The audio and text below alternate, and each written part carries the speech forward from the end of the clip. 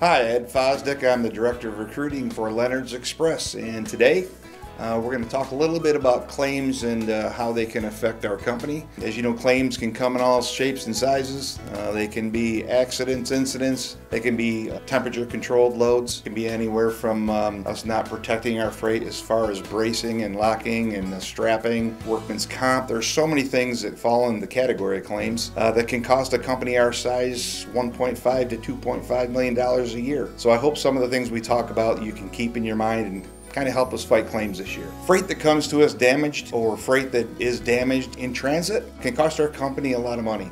It's very important that we use the resources we have to protect our freight. Uh, once the freight is in your possession, uh, it's your responsibility to our customer and to our company to make sure it's secure.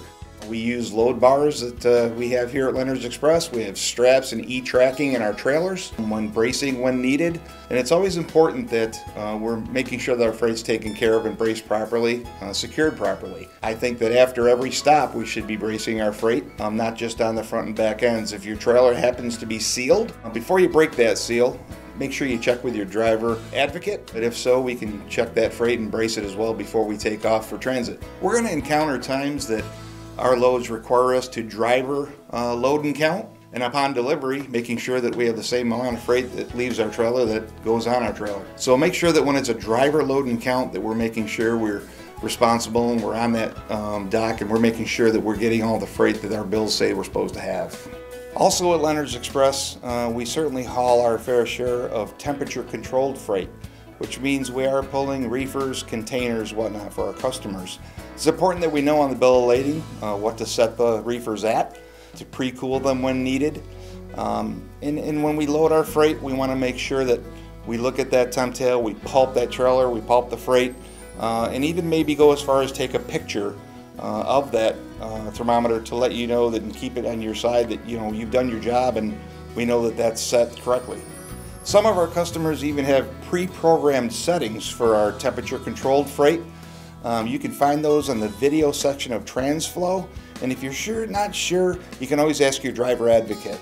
A bit more information on pulping your freight in transit. We certainly want to make sure we're setting that trailer to the correct temperature, but in transit we want to check that at least a couple times during your daily trip to make sure that the reefer is working correctly and that we're achieving the right temperatures. You can certainly use the vent door uh, on that trailer, uh, but don't break the seal and open the back doors unless you have uh, written permission to do so.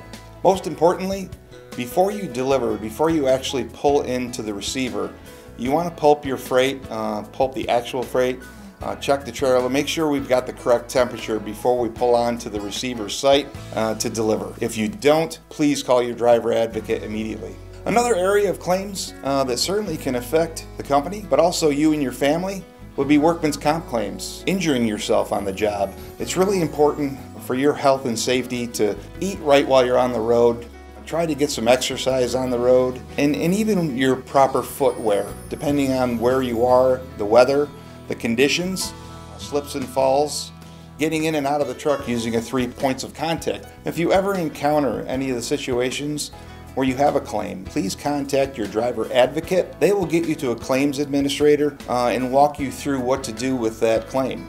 If you have a refused product, they'll let you know where to take it.